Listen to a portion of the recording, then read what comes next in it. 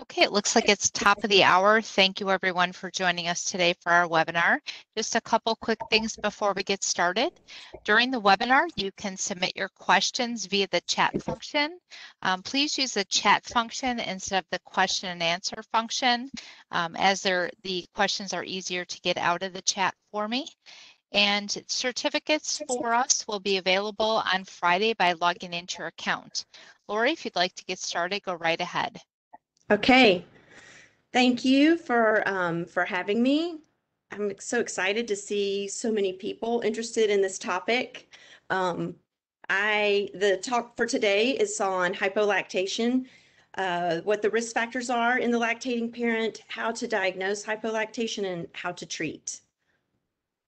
So just a little bit about um, my background and where I come from. I think it's really important when you hear a speaker to know you know, where do you practice every day? What's your experience like? What perspective do you come from? So I've been a general pediatrician since 2002 when I finished residency. Um, I spent the first 15 years of my career in an academic setting where I was the medical director of a newborn nursery, ran continuity clinic, you know, sort of worked with OBGYN residents, family medicine residents in a um, tertiary uh, hospital with high risk deliveries. And now I'm in private practice in Phoenix, uh, and I go between two locations. I still round on babies, but it's at a private hospital, and I still teach, but not quite as much. So I've kind of lived in both worlds. I became an IBCLC, uh, board certified lactation consultant in 2010 and recertified this past year.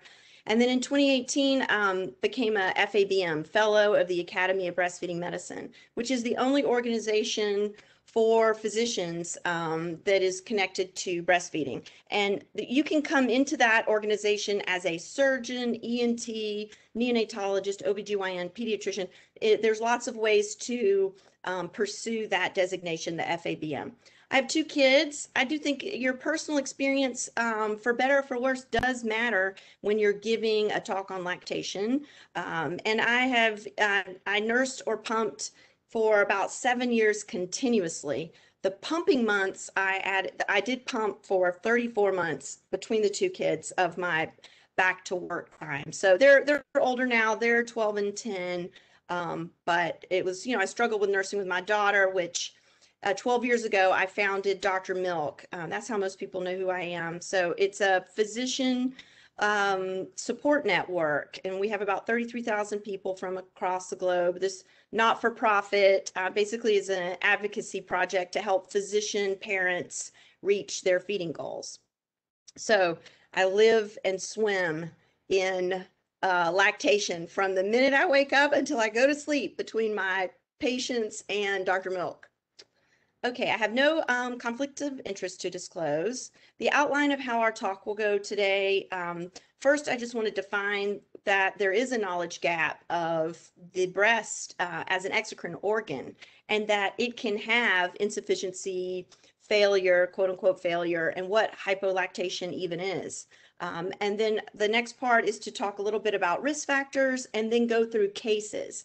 So most people when you hear one of these lectures, when especially if you're hearing new information, as adult learners, it will not stick unless we have cases where it makes sense to you. How are you going to use this information in your practice to change what you do? Um, it's great to learn nerdy things about breastfeeding and breast milk, but really, unless you can apply it in your um, in your setting where you work, uh, it's it's I have missed my opportunity oh, sorry, my background light. I may have to move around and make the background light turn on. Um, and then overall, I know we have lots of different types of providers and healthcare workers who are coming to this talk.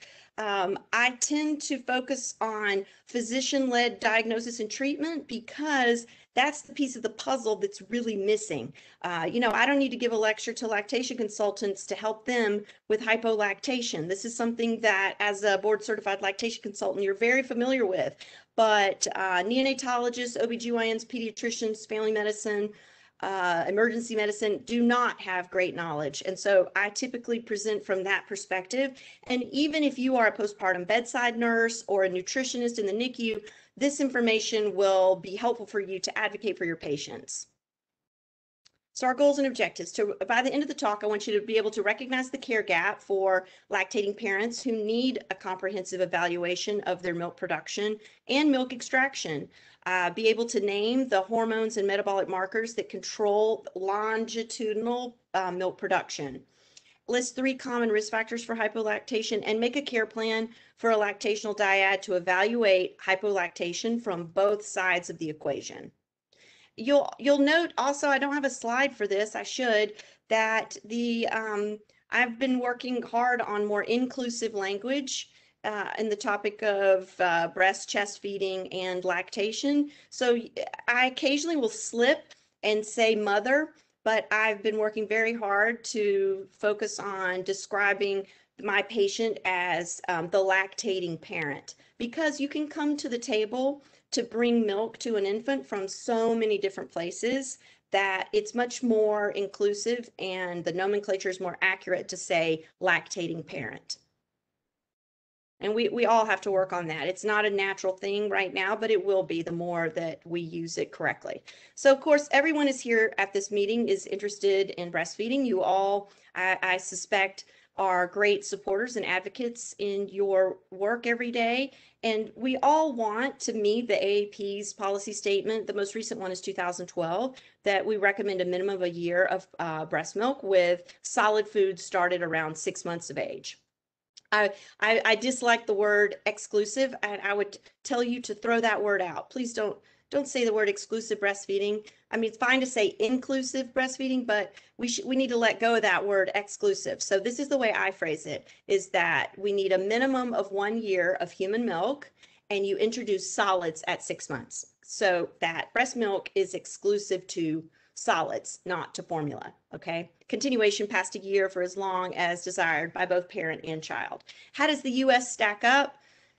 We're all right. We haven't made much headway, you know, in the last 10 years or so. This is from 2017 from the US nationally. Ever breastfed is at about 84%, but then at a year, it's only 35%. Why does it drop? Well, you know, why can't it be 84% when the infant is born and it should be 84% at a year of age, right? If you ask the parents at birth, that's what they want. Um, you know, they may say bottle, but what they mean by bottle is pumped uh, breast milk. So the reasons are very complex that uh, parents don't reach their goals. And it's actually amazing that anybody leaves the hospital breastfeeding at all, frankly. Look at all, if you see this as kind of a line, um, Dr. Alison Stuebe described it as like a Swiss cheese hypothesis. You know, when you make a medical error and all these lines come together through the Swiss cheese holes, truly to leave the hospital with human milk only given to your infant if you stay for an actual normal pre-covid length of stay of two to three days. There's just so many barriers from the family members to the education of the staff the intent to breastfeed the return to work planning support in the community uh, social determinants of healthcare ability to afford what it takes to breastfeed but if you look at overall, once breastfeeding is off the ground, the real reason people don't make it to a year is that they either do or perceive that they have not enough milk. Thus, the talk, the, our topic today of hypolactation. So mm, it's really not completely about barriers at work. You know, all those things are factors, but the number one, number one, number one is that the parent reports, "I did not make enough milk." Okay, so we cannot work on national breastfeeding goals unless we work on understanding why milk supply drops over time or why someone would perceive that it drops when it actually has not dropped. Okay, so this talk, um, you, you notice that the name of the talk is not low milk supply. Okay, hypolactation. So, you know, trying to frame this around an organ. The breast is an organ, it's an exocrine organ. It secretes milk. Every organ in the body can have sufficiency, insufficiency, right? Uh, we learn about all the other organs in the body in our training. We learn about normal physiology, cancer, uh, failure of kidney failure, liver failure, you name it. But almost nowhere in medical school or in nursing school um, nutrition pharmacy, you name it, do you learn about the breast and its normal physiology and its insufficiency from the standpoint of milk production, not from the standpoint of cancer. Okay, we, all learn about breast cancer, but very few people learn about this hypolactation or breast insufficiency. So, you know, if human survival is based on breastfeeding working, quote unquote, we don't want human survival to be a fragile system, and it's really not designed to be a fragile system. Um, but our modern culture has kind of buckled the functioning of the organ also because we have substitutes. So the definition, there's not a clear classic definition for hypolactation. I don't even know if it exists in nomenclature in common use. I live in this world and so I say hypolactation all the time and I write it in my notes and I forget like it's probably not common language to be used. Um, but hypolactation helps reframe it um, I, I, wish people would say breast exocrine insufficiency, because then maybe somebody would want to do a consult and figure out why. That sounds so much better than low milk supply. Um, so I, I want to make sure that we cover the hormonal side in this lecture. Most reasons that a mother does not or a lactating parent does not make enough milk have more to do with self-sabotage or the hospital sabotaging in the first few days. So the, the, the breast failing as an organ is incredibly rare. The breast not having enough glandular tissue is not particularly rare. And hormonal causes of low milk supply are you know, in the grand scheme of hypolactation, there may be a smaller percentage, but it's not rare. If you have not seen hormonal causes of low milk supply and hypolactation, you haven't looked for it. It's there, they're there. What happens when people have low supply is that you say, you know, you go, I know we tried everything. We saw a thousand LCs, we took herbs, and they, you just get a pat on the back and you say, you tried hard there's a substitute, uh, you know, you're going to have to use formula or donor milk. And I know you did your best and you just move on. Like you would never say that about a kidney. Well, you've got two of them, one isn't working, or how about both are failing? Well, we're going to use dialysis now. I have no idea why the kidneys failed, but we've got dialysis. So we'll just move on and get that started. Don't blame yourself. It's not your fault, right? So we treat the breast totally differently than we treat all the other organs in the body. The primary hypolactation, meaning that the breast itself is not making enough milk, is different than secondary hypolactation. That comes from the infant side. So it's fascinating. This practice of breastfeeding medicine is two patients. So if the infant is unable to remove the milk and the milk supply goes down secondarily, then the root problem is not with the lactating parent, it is with the infant. So when you evaluate milk supply, you have to look at two patients. It's very similar to infertility and reproductive endocrinology, where you have two patients. You have to look at, you know, the egg and the sperm side of the equation. So there's a care gap. What happens when there's low milk supply? The person who discovers it is typically the pediatrician checking the infant's weight. Is the pediatrician the expert on the lactating parent's breasts? Nope. How about on the hormonal uh, milieu of that lactating parent? Nope. That person is not even registered as a patient, but half of the problem list is a person that the pediatrician cannot examine, check, ask questions of, and do labs on except at the end of this talk, you will be able to. So I do that routinely. Um, I don't always register them as a patient, but I use the people in my community. I use family medicine, med peds, OBGYN in the community to help me do workups on patients. So the parents, if they go to their OB and say, I think I'm not making enough milk, the OBGYN is not going to weigh the baby, plot them on a growth chart, and ask a bunch of questions about the baby. So we've got this black hole where the parents don't know where to go. You have lactation consultants who do a fabulous job. Can they order labs on a mother? Nope. Nope, right? Like you've got everybody sort of working independently and not working together. So the role of the IBCLC and hypolactation is pretty much well established you know i don't find that there's a care gap there that's not where the problem is they they may identify this is perceived milk, low milk supply, and then that's really just about counseling. Um, but when it's true low milk supply, they know how to intervene to get more emptying, more effective emptying. They know how to do evaluations of the infant suck and swallow. But someone's got to put in referrals and get the ball moving, and that is almost never a lactation consultant. That has to come from, um, you know, a, a provider of some kind who can register them and do diagnosis and treatment. So we all have to work together. The physician's role is basically Right now, the hands just get thrown up and they just go, I don't know how to help you. Here's our lactation list. Here's a hotline.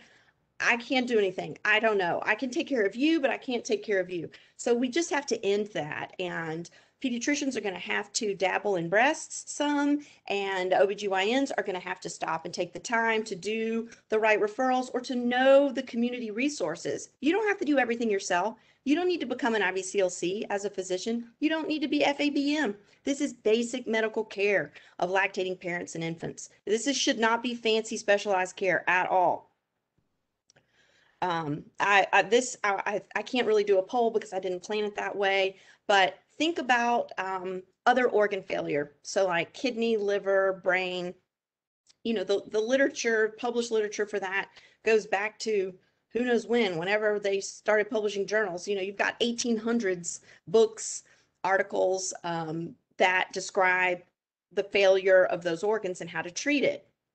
Maybe it involved leeches and there weren't antibiotics, but at least people were looking into it.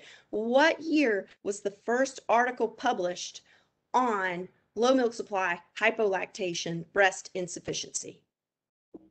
Okay, did you guess 1981? Is this insane? So I, I, this just floored me that no wonder we don't know anything. This is the beginning of a whole part of medicine that's just been ignored and I don't understand. Uh, we know all about the prostate. We know how it works. So how did the breast get left out of medical training? How did the breast get left out of differential diagnosis? No idea, but there's no excuse now. The information is there. We all need to know it. So this is going to be just a very quick review of how the breast is an exocrine gland. It, an, any exocrine gland secretes a substance onto an epithelial surface by way of a duct and the mammary gland is inside the breast. So it's an exocrine gland. It changes during um, puberty, pregnancy, and lactation, and then it involutes and begins the cycle again. So, I mean, that's kind of cool. You know, the lizards that drop their tails. Have you ever seen the little lizards? I live in Arizona. And when they get stressed out, they just drop their tail and then a new one grows. And you know we don't drop our breasts but basically they do at the end of lactation you completely involute. And then with a subsequent pregnancy you all of these stem cells and the redifferentiation of these cells into glandular tissue fat um, progenitor cells. I mean it's absolutely fascinating. So um, you would think there'd be more interest in this. Mostly the publications come from the dairy industry and breast cancer research so the breast is a regenerative organ multiple cycles of those proliferation. And of course, breast cancer is rooted in the dysregulation of that process, right? The proliferation and the involution gets is not correctly regulated. That's exactly where many of the breast cancers come from. Partly why um, pregnancy and breastfeeding protect against breast cancer. Okay. I think everyone knows these things. So in, in this diagram, you can see the purple structures are the glandular tissue, yellow is the fat, women with, as long as they do not have IGT or insufficient glandular tissue, no matter what size your breasts are uh, in a bra or fitting or appearance, uh, the purple part, the glandular part, is very similar across the spectrum of lactating. Um, this, I do have to say, is a cisgendered, uh, cisgendered female. So it, it gets complicated when you have people who take hormones to develop their chest into breasts, but um, if you take cisgendered women, um, the that glandular tissue, unless there's been a hormonal problem, is the same. So the everyone should make about the same amount of milk um, in the 24 to 30 ounce range, unless they have one of these problems we're going to talk about today three stages of milk supply. Once you hit 16 to 20 weeks of pregnancy, you're making colostrum. Uh, if you're tandem nursing and there's a toddler who's nursing while you're pregnant, they'll be removing colostrum every day from 20 weeks until the birth of the new infant. And the colostrum is just made again. There's so much progesterone that it doesn't create a high milk supply. They don't get very much. The removal of the placenta, there is the removal of progesterone, and that's what triggers copious milk production.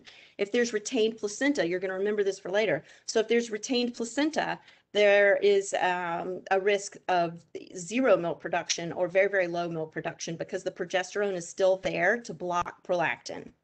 Once you hit four to six weeks, you're in autocrine local control of milk supply, and it stays about the same from four to six weeks till six months. It's about the same. I mean, it can accidentally get lowered and you can try and force it up, but if you just take regular ecological breastfeeding, it'll stay about the same 24 to 30 ounces per 24 hours.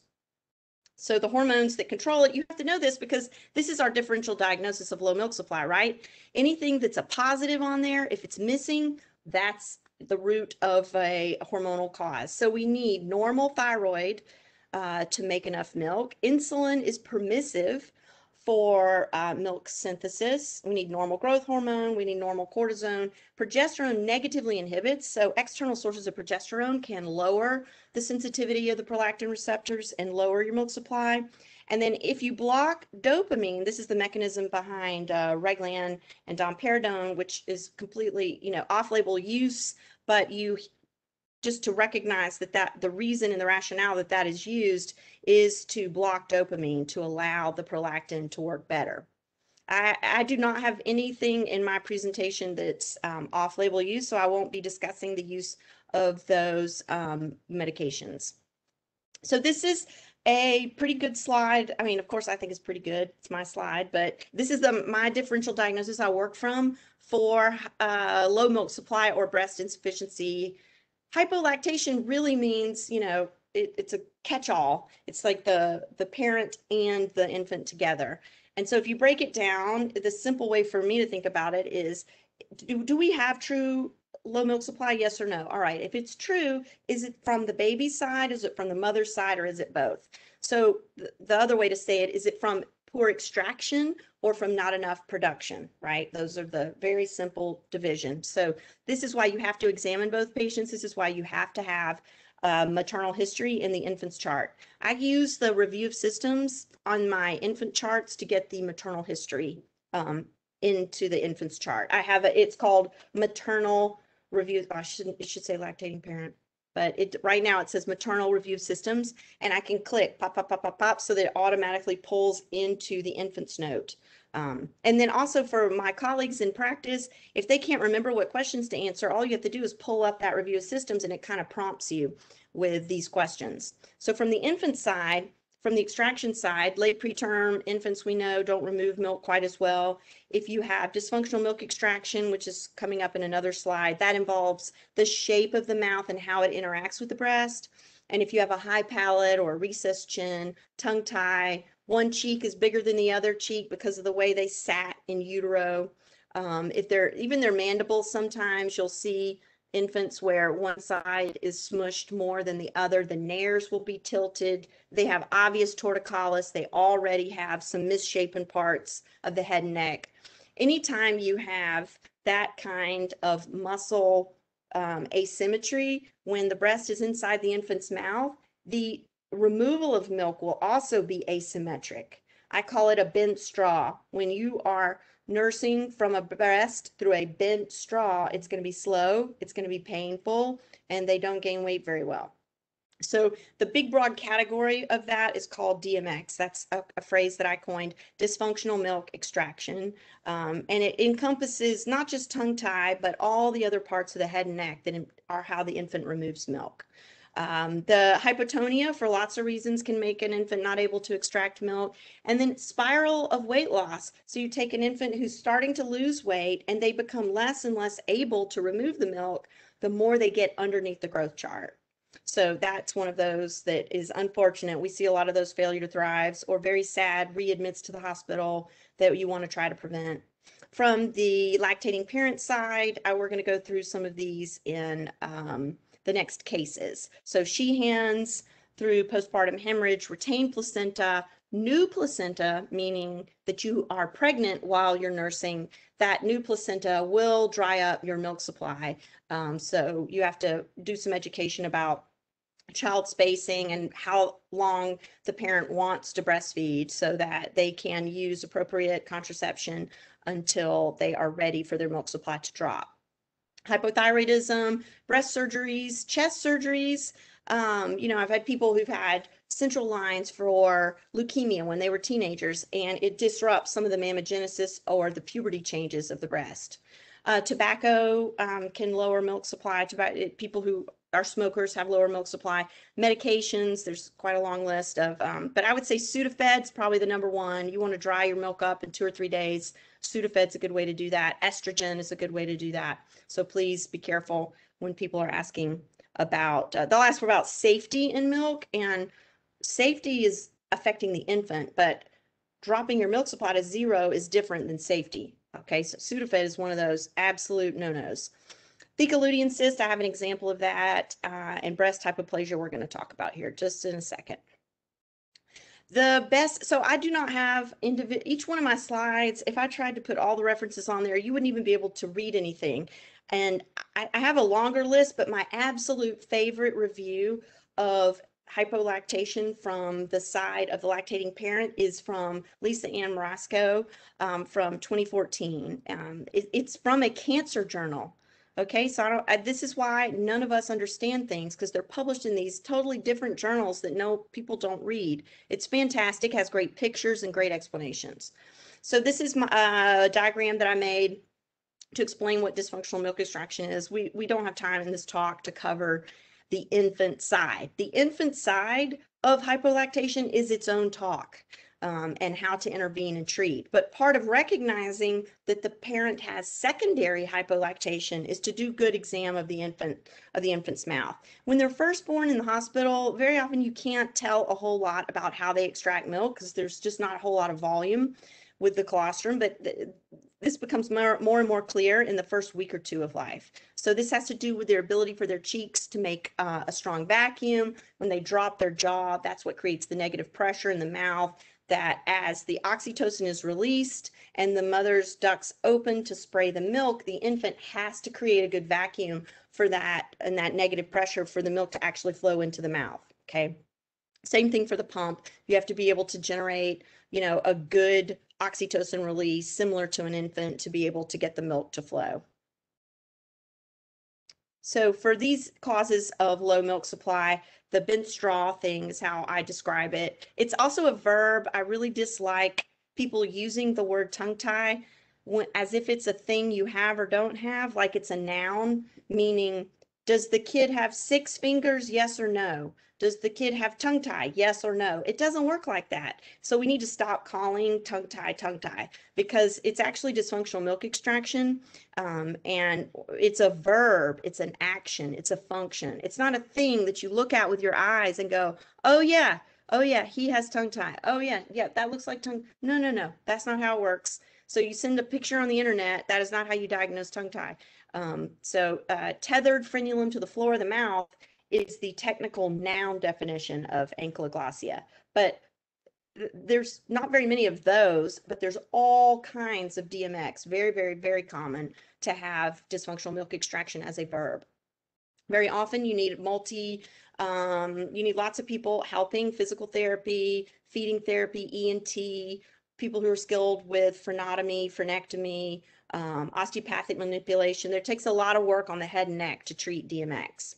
The intervention for pretty much any infant with some spectrum of DMX is triple feeding, which is um, those of you who live in this world, you know, your heart just sinks when you know that that's the treatment in, involved. Triple feeding is direct breastfeeding, pumping with a very good high quality double electric pump after feeding and then supplementing in a paced way so that the infant can still directly breastfeed later. And those those steps um, are exhausting and um, it's really sad that that's pretty you know what else do we have in our tool belt? All right triple feeds until we can get everything fixed. So um, it's it's really easy to just make somebody become an exclusive pumper. That takes no brain power. You just go okay i'm sorry that breastfeeding hurts just get a good pump and become an exclusive pumper and the baby still gets the benefits. Please don't say that. Please don't. That just is such feeding trauma. I don't know how to tell you. You know, if the parent chooses that, that's fine. You embrace it and support it. But exclusive pumping should not be the first line solution to either slow infant weight gain or low milk supply. All right, here's our first case. We got, I'm about 28 minutes in and we've got a little bit of time left. So uh, the case one, this is this was a real one of mine. Full term infant was exclusively breastfed, readmitted on day of life four, had a bilirubin of 21 and 12% weight loss.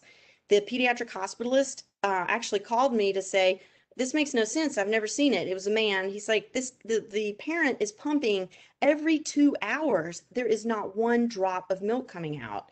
Uh, no breast surgeries, no postpartum hemorrhage, has a normal BMI. The infant's oral exam is normal. And so I was like, well, this, you know, when you have zero milk drops, there's only a couple of things it can be outside of anatomical causes. So I, I, you know, didn't have postpartum hemorrhage, didn't seem like a Sheehan's, didn't have a history of hemorrhage in the past. I'm like, let's get some, let's get some labs. Let me see, theca cyst. You know, you read about it, but um, I've actually seen two. This was one of them. So when the labs came back on the mother, her testosterone was 650, which is higher than all of the men who are logged in right now combined. That's and and the, and this this the mother, she had no signs. There were absolutely no signs of hyperandrogenism. So this is a, a rare cause, but you will not find it if you don't look for it. So if that hospitalist had not called me, he would have just told the mother, I'm sorry, you just didn't make enough milk, right? And she would have moved on and told everybody for the end of time, I just couldn't make enough milk. Only because we got the lab, would you know? normal testosterone. Uh, this is like when you're looking at the total versus free uh, levels around 25 are normal. The theca lutein cysts are in the several hundreds. They're they're a it's sort of like this aberrant growth during pregnancy. And after the infant is delivered and everything comes back down, it will go away on its own. But the problem is most people have stopped trying to breastfeed by the time the, the testosterone gets down below 300. They won't make any milk until it gets down below 300. If you get um, the testosterone levels that are borderline, like in the 70s or 80s, that's more like PCOS. So these theca lutein cysts, this is the best article from 2002 that describes it um, the delay of onset of milk supply secondary to these ovarian cysts. Um, they will spontaneously resolve, but you have to use a strong double electric hospital grade pump from the get go. You know, pretty much every three hours, even though nothing is coming out, it's absolutely maddening for a parent to be pumping and nothing is coming out. Um, but if you can, if they can just hang in there as the cyst involutes and those levels come down, you'll have copious milk production the minute it drops low enough. If you do nothing though, if you're not pumping, all of those lactocytes will involute. Okay. And then when the testosterone is gone, they've already decided to shut down. Okay. So you have to do the pumping to get the stimulation to tell them not to involute and apoptose. And then this is just a reminder that the, you know, the bound testosterone is bound to sex hormone binding globulin which is elevated in pregnancy. If you measure these things while they're pregnant, it'll be elevated from the pregnancy. Someone who has PCOS has a low sex hormone binding globulin. That's part of why there's too much androgen around. This is why PCOS is in part treated with metformin. Metformin increases sex hormone binding globulin, which mops up androgen. And uh, breastfeeding goes better the lower your androgens are. Okay, case two. This is an infant at the four month well check who had a percentile drop from 50th to 10th. Pretty big drop. This is a legit drop. There's tons of nursing going on. It's not painful. No breast surgeries, no new medications. Um, she's not pregnant, no known thyroid problems. She's exhausted, she's overwhelmed. Her, her depression score is 11.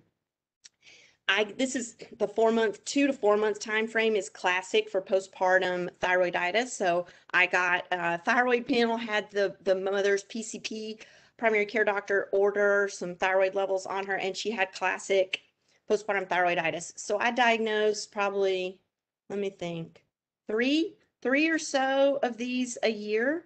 Um, I'd probably get more if I forced everybody to go get labs when their supplies low. Sometimes they've just given up and they don't want to know and they don't want to get the labs. Or they went back to work at the same time and everybody blames the back to work when meanwhile it might have been postpartum thyroiditis. It's common um, it's 12% of deliveries that have postpartum thyroiditis. Some have a hyperthyroid phase that then crash into low others just present with low. Um, and and the milk supply you have to have a normal thyroid to make enough milk. Um, occasionally you'll have um, people who have very, very high overactive thyroids and they will have hyper oversupply. They will make 60 or 80 ounces of milk per 24 hours. So anyone who has massive, massive, massive oversupply um, that they didn't even mean to create, it, you should check their thyroid and make sure they're not hyperthyroid. And remember that the symptoms of hypothyroidism are the exact same symptoms of being a parent. Being a parent of a newborn, all of the symptoms, they're the same. So you cannot rule out hypothyroidism by history. Absolutely not. If you've got low milk supply, that's your rationale. Okay, so it doesn't present at nine months, it doesn't present at two weeks, typically in that two to four months time frame. Case three, a baby at a two week wall check is above birth weight, uh, but at the one month wall check has only gained eight grams per day. So at first things were going fine. Milk came in on time, baby's growing well, and then it's just kind of teetered out. The baby's satisfied, it's not really fussy, not acting hungry.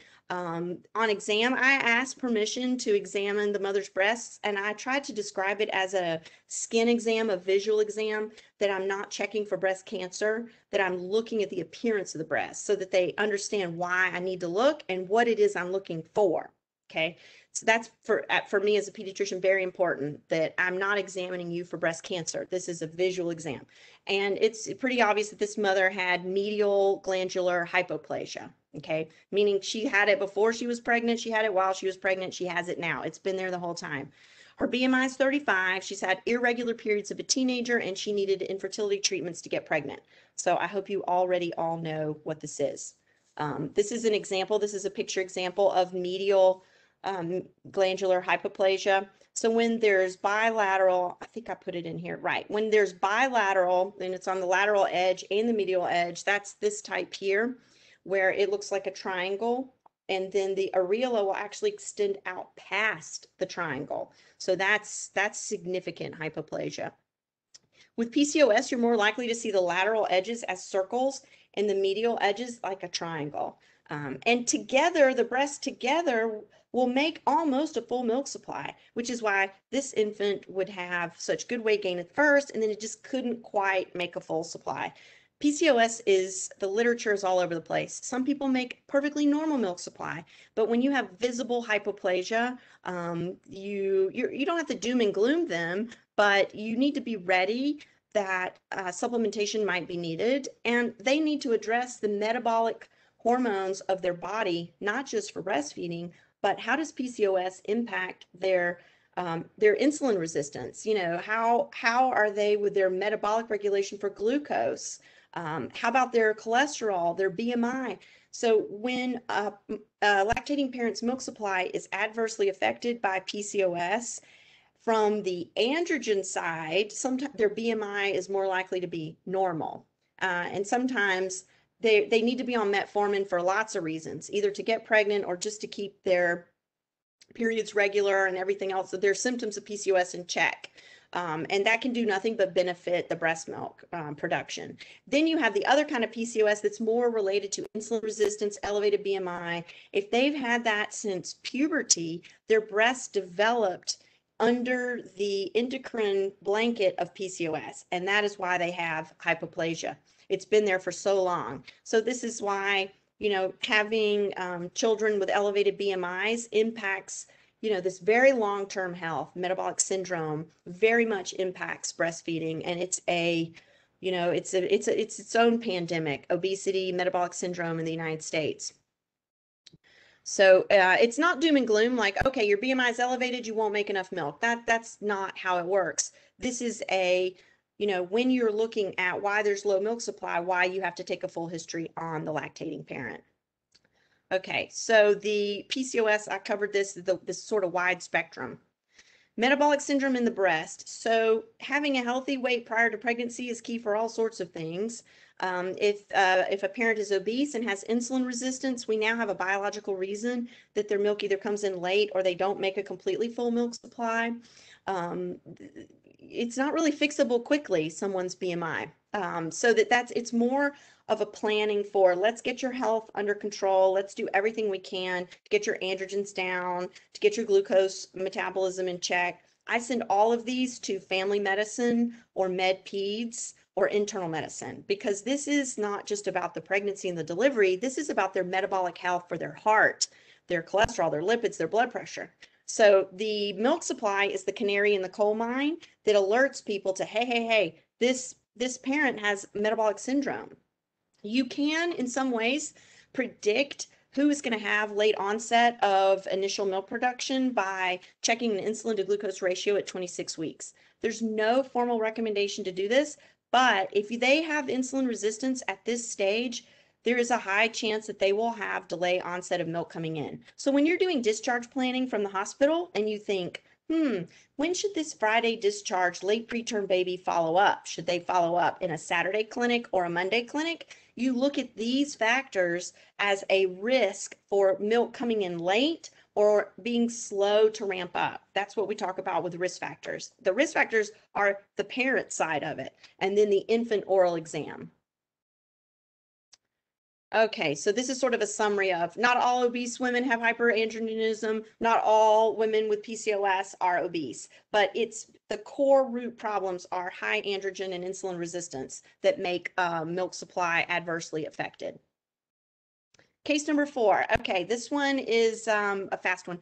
Uh, there's a sick appointment because the infant is waking constantly um, from night. They want to sleep train, or they're like, why is the baby waking up so much? Has not gained any weight since the checkup, and the mother's nipples are sore. And she thought it was because the baby was nursing so much. This is the time, the most common time to see an accidental pregnancy, no, not unintended pregnancy, is around seven months. So um, this is, you should always check a urine pregnancy test when a milk supply drops out of nowhere and you can't quite figure it out. And you go, you remember that they can ovulate before they have their first period, and you can be, I don't even, you wouldn't know you were pregnant um, the the low milk supply might be the first sign or the sore nipples that you are pregnant. So new progesterone source is going to lower your milk supply and you can pump like crazy. It's not going to bring it up. You know, the safety of it is, um, is sort of for a different topic, but it really pretty much safe um, nursing during pregnancy unless you have a history of preterm labor or you know there's some rare anomalies where you wouldn't be able to but the vast majority of women you can keep nursing but the infant is going to need some other source of um, milk besides the mother's if they're under a year of age. Okay, case five, 41 minutes here, gotta hurry. The postpartum hemorrhage. So Sheehan's as a cause for low milk supply is a very under-recognized problem.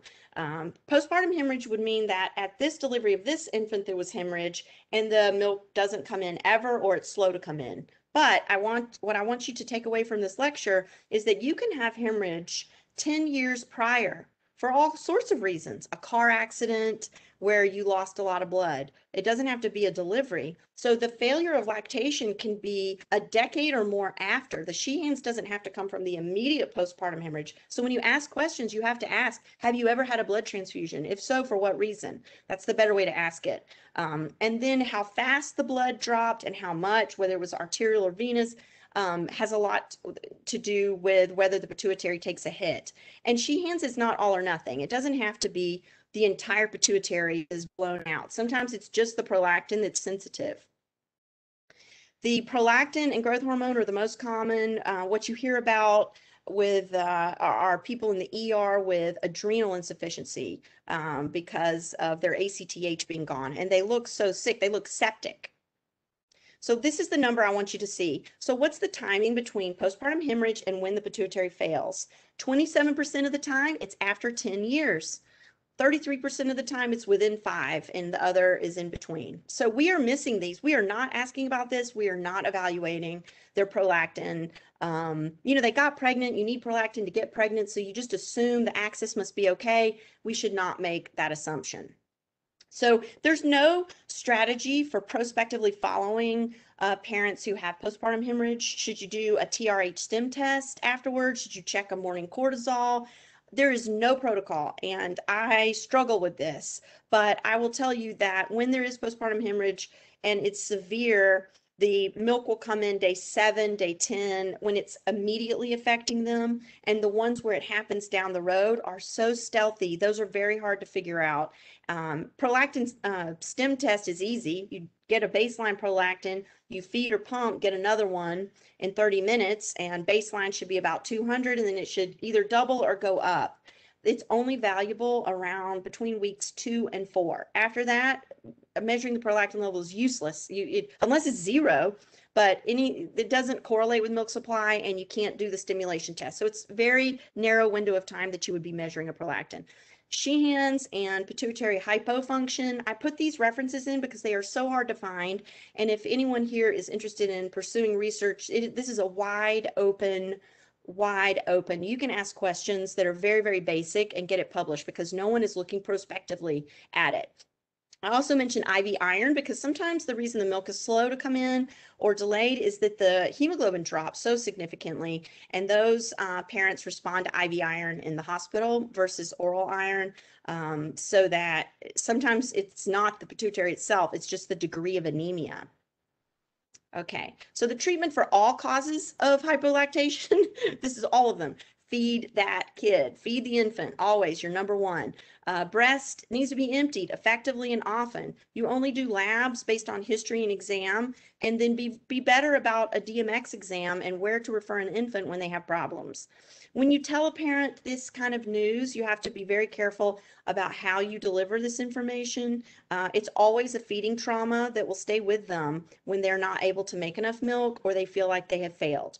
Uh, even just using the word success and failure, just those words will stick with them and they repeat it uh, in this trauma cycle. If you talk to therapists who treat postpartum depression and anxiety and ask them how often uh, feeding is the root of the problem, it's uh, very common. And even when it's not your fault that you're the one delivering the news to them or the treatment, you can do it in a careful, cautious way. Um, the best way to make your milk supply go up is good emptying and frequent emptying and reversing all the reversibles. Please don't tell people to make cookies. The time you could make lactation cookies, you could have pumped. Go pump. Please don't make lactation cookies unless it makes you happy. To do that, I don't do it. Or, or have some family member do it, fine. But the lactating parent should be pumping more. Pills, uh, Reglan and domperidone, there's really no quick fix. That's kind of a complicated topic. It's completely off-label use. Domperidone is being seized in the United States if people order it from overseas. And prescribers, some of them have had uh, trouble with the FDA. Uh, it can prolong your QT. And so if you are on two pro QT prolonging drugs, you get into extra trouble there. Um, herbs, some are helpful, you know, like a goat's rue that mimics a metformin, sure, but most herbs are very expensive, um, and good emptying is what you makes you make more milk. Nasal oxytocin only works for um, those that have had breast surgeries where you kind of cut all the nerves. But once you start nasal oxytocin, you have to use it forever, forever. You get uh, dependent on it and tachyphylactic. And so this is usually an almost, you know, absolute no. In my entire time. I've only ever used it twice and I used it one time, not ongoing. How do you know when to order labs on the mom? Hopefully I've kind of covered this through these case examples. Prolactin levels are not helpful after week four. And you know before week one only if they've had their pituitary removed would it be helpful. I did have one of those where the pituitary was completely gone and this was a parent trying to breastfeed and i have no idea why. Anyway, that should not have happened. Like we should have been using an SNS with donor milk or formula, and the infant dropped a lot of weight, and nobody thought of it. Not no doctor anywhere on the team. No one thought of it. That the mother has. There's no pituitary. How do you think she's going to make milk? It doesn't matter how the breasts are. If there's no pituitary, there's no prolactin. So besides, that's like the, I, I, my old hospital was a um, pituitary center of excellence. And so I saw all sorts of pituitary surgeries and problems in lactating parents. Okay, social determinants of health, obviously is probably a whole nother talk, but if you notice all of my treatment plans involve a ton of appointments, a lot of driving, a lot of coordination, a lot of copays, a lot of out-of-pocket costs. So you have to think about, um, you know, don't be paternalistic and make the decision for the patient, but remember that there's going to be barriers and you have to know the resources in the community for those who have difficulty with transportation or renting a hospital grade pump. When you communicate this plan to a parent that the milk supply is low, here's the evaluation we're going to do. I love using the phrase inclusive breastfeeding. You know, you are not able to make enough milk we have reversed all the reversibles. You still make 80% of a milk supply. That does not make you 80% of a mother, right? You are an inclusive breastfeeder. Who cares what the percentage is? You're not defined by the number of ounces you make. Be very careful how you express this. And also, you can make a list this long of things they can do. If they can't manage it in their life, then it's like double failure. So you can say, look, this is these are all the things you could do. Tell me what you think is going to work, and I'll give you information about that. And the plan can be adjusted at any point, and you can stop on any day. Just never quit on your worst day. That kind of philosophy typically sits well with people. Um, and then recognizing that this is very high risk for uh, postpartum depression and anxiety. Okay, I think I barely made it. We're right at 49 minutes. So I appreciate your um, attention. I've talked about a million miles an hour, and hopefully you've gotten some new ideas for your practice. Thank you, Thank you, Lori, for that information. That was great. Very informative, a lot of great information. Um, we do have about 10 minutes for questions and answers. So if you have a question, feel free to drop it in the chat and we'll try to get to the questions that are coming in. Uh, Lori, the first question that we have is what hormones do you generally ask to be tested for a postpartum mom? So that um, there there's really I wish there was like a cookie cutter algorithm. I, I glossed over that slide where it says how do you know when to test the labs in the mother. Let me go back to it so I can show you um, that if it depends if they're making no milk or some milk. If they're making zero milk and their breasts have not had surgeries or radiation on them, then you're only left with a few things that could be. It's either retained placenta, somebody's removed the pituitary gland, or it's not there at all, uh, or it's involuted, or there's a theca lutein cyst. So those are the only things that cause like zero drops to be made despite adequate pumping.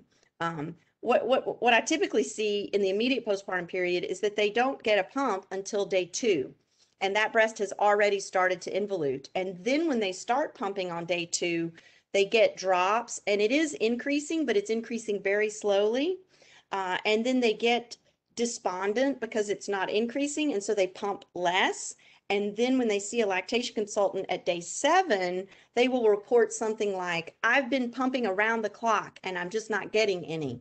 That's different. That's different. So that's not likely to be hormonal. That is just inadequate emptying. And some parents are more sensitive to inadequate emptying. You'll see some they won't get a pump till day two. They start going and they make 900 milliliters a day by a month of age, and others that never make more than three or four ounces in a day, and they pump the same number of times. So that we don't understand what cell signaling events turn those lactocytes off. I mean, we do. We know there. We know the list of reasons that a breast lactocyte would stop making milk. We do. It's deformational because they're squished because the milk has back pressure. Um, and then if you're not empty, basically, if you're not empty, the breast is going to downregulate. So some do it faster than others. Uh, the other, the labs for um, uh, thyroid, I typically don't do unless it's it's that that's much later onset and insulin resistance causing problems milk supply happens later. PCOS issues typically happen like week three, week four. When there's tongue tie and infant dysfunctional milk extraction, you don't need to get any labs on the parent. The problem is the infant and we need to fix it. Okay, the next question is, can you highlight how subsequent pregnancies affect low supply due to issues in lactating parent? Yes. Will lactation issues stay the same with each baby? No, no, for better or for worse, you know, um, when uh, if you have, let's say you've had a breast reduction surgery and uh, you only make 70% of a full milk supply with your first baby, each pregnancy increases the branching of the breasts and the collaterals. So every subsequent pre- pregnancy, you will have more milk making tissue. Um, so that from a standpoint of the tissue itself, every pregnancy increases the amount of glandular tissue you have and differentiation. Problems with breastfeeding, um, a lot of them have to do with being first time parents. So it's much less likely to have poor latch as a problem in a second or a third or a fourth time parent, unless it's been like 10 years since they did it and they just don't remember. Um, and then tongue tie is, you know, if that's a familial disease. So very often, if one child has tongue tie or dysfunctional milk extraction, several others will also. I mean, it's not a guarantee, but you look for it sooner. Um, and in utero positioning that causes dysfunctional milk extraction, that would be different from pregnancy to pregnancy. The size of the baby, uh, the shape of the uterus, how much weight the mother's gained, all those things uh, would be different. So it's never doom and gloom unless you've, I mean, y- y- there's some things that absolutely will continue to be a problem. You've had a breast reduction surgery, you've had radiation on your chest, your nipple's been removed, taken off, your breast got lifted and it got sewn back on. That's going to be a problem for pretty much every pregnancy. Um, but there is nerve regrowth and there are collateral growth. So there is slight improvement over time. PCOS, absolutely, that could be managed differently in the intervals between pregnancies.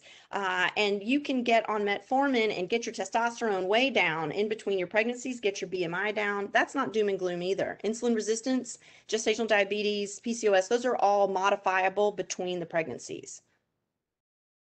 Okay, the next question is, is there a connection between SSRIs and hypoplasia? Not that I know of, not that I know of, no, but very high doses of SSRIs for some parents can lower milk supply. Um, it's a, you know, it's not listed, it's for sure not a contraindication to do that. And you have to remember there's a lot of chicken and egg when you're on an SSRI for anxiety or depression. Anxiety and depression affect oxytocin release. Anxiety and depression affect your sleep. If you aren't sleeping, your prolactin cannot surge when you sleep. If you're exhausted and hate what you're doing, you're not going to let down for your baby. Um, and you may resent pumping. So, you know, there's all this like connectivity there between anxiety, depression that requires treatment and milk supply that's indirectly related. There is a direct connection for some of the higher, higher doses of SSRIs in milk supply, but those are usually reversible. I don't know anything about SSRIs affecting directly the branching proliferation of the ducts as during the pregnancy. Okay, the next question that we have is, instead of double pumping after direct breastfeeding, could a parent pump the non-feeding side during breastfeeding, especially if their time is limited? Um, not with low supply. I mean, sure, yes, of course, as a strategy, if if the infant has dysfunctional milk extraction and the parent has normal supply, that's the only time I would do that. Um, because if if the parent has low supply, you're you're not going to have enough to supplement with, and you're not able to stimulate both breasts equally. Um, but if you have normal supply, but the infant cannot pull the milk out, yes, sure.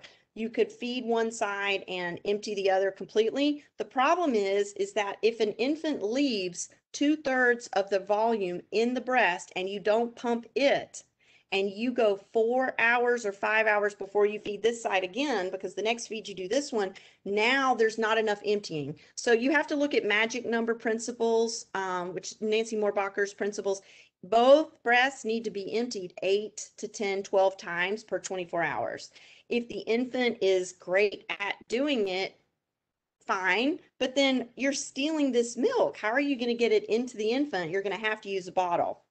So it, I, there's not a simple answer to that. I, I will say that I see a lot of slow growing infants that it's theft. So it's Haakaa theft or freezer theft that makes the infant grow slowly. The, the parents passively collect one side while they feed the other and they freeze it. I'm like, that's theft. That milk is for this infant. Don't do that. you know, you can do that after a month of age, but in the first few weeks, all of that milk belongs to that infant and they will not grow well if they do not get enough from both breasts. There's too many factors involved in the genetics of an infant, their growth percentiles, their potential, and we as humans cannot possibly know what that is until you watch the infant grow. Um, and you can't know what your storage capacity is. You know, there's there's too many variables involved, and so I see a lot of parents who have a high center of control who have to know everything and measure everything and are freaking out about making a huge freezer stash, and they totally sabotage their uh, infant's growth and their direct breastfeeding through all that anxiety and measuring. Okay, it looks like we're almost at the top of the hour. We do have a lot of questions coming in and someone asked if they could email you directly about specific situations. Um, you, that's probably not a great idea. I wish I could, but that creates a doctor-patient relationship and I wouldn't be able to examine the patient. Um, so that I would say absolutely yes. You should use a telemedicine breastfeeding medicine physician for that. Absolutely yes. Um, there are plenty of those. If you go to the Academy of Breastfeeding Medicine, there's a directory of all the physicians that do what I do. I'm certainly not the only one, plenty. I don't do um, online those types of appointments, um, but there are physicians that do um, and that are trained to do as much as they can by video. Great, thank you. Thank you again, Lori, for presenting this information. I do want to remind everyone that's on um, that your certificates will be available on Friday by downloading those on your account. And registration is now open for our May 19th and June 3rd uh, webinars. And the May 13th webinar registration will be available shortly. Um, please visit medelaeducation.com to register and learn more about those up and coming webinars. Thank you, everyone, and have a great afternoon.